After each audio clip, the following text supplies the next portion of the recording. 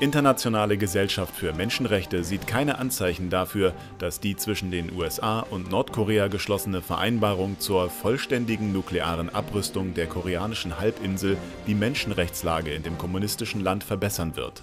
Martin Lessentin sagte gegenüber IDEA, es ist grundsätzlich zu befürchten, dass der Vertrag Nordkorea stabilisiert und die Verfolgung von Christen unvermindert fortgesetzt wird. Ähnliches habe man nach dem Atomabkommen mit dem Iran festgestellt, die Menschenrechtslage hat sich dort verschlechtert, so Lessentin. Die christliche Gemeinde war seit Anbeginn ein Ort, wo Menschen unterschiedlicher Kulturen zusammenkommen.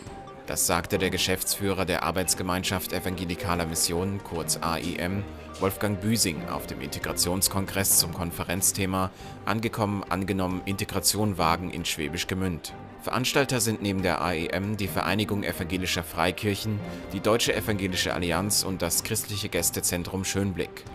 Sehen Sie einen Kommentar von Wolfgang Büsing zur Bedeutung der christlichen Gemeinde für die Integrationsarbeit. Das, was uns verbindet, ist Jesus Christus.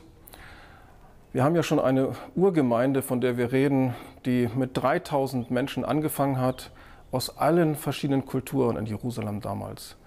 In gewisser Form wiederholt sich das äh, bei uns gerade und wir erleben, dass Menschen aus verschiedenen Kulturen und Herkunft ihren Glauben hier leben.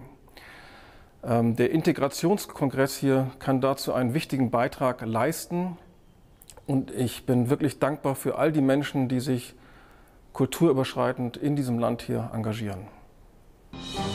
Das überkonfessionelle christliche Netzwerk Solo und Co. bietet derzeit in acht Städten in Deutschland, Österreich und der Schweiz Veranstaltungen mit Impulsen, Musik, Gebet und Gespräch für christliche Alleinstehende an. Astrid Eichler, Vorsitzende des Netzwerks, sieht in Solo und Co. eine Chance, dem Single-Dasein in allen Altersgruppen und Lebenslagen positiv zu begegnen. Bei den Singles spielen, denke ich, die Werte eine wichtige Frage.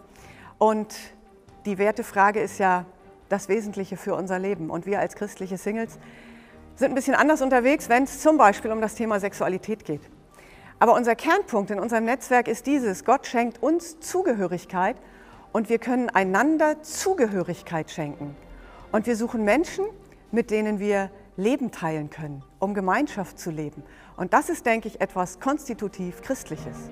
Solo und Co. wurde 2012 gegründet und bietet neben der Vernetzung auch Workshops und Beratung an. Die Abschlussveranstaltung der Tour findet am 16. Juni in Leipzig statt.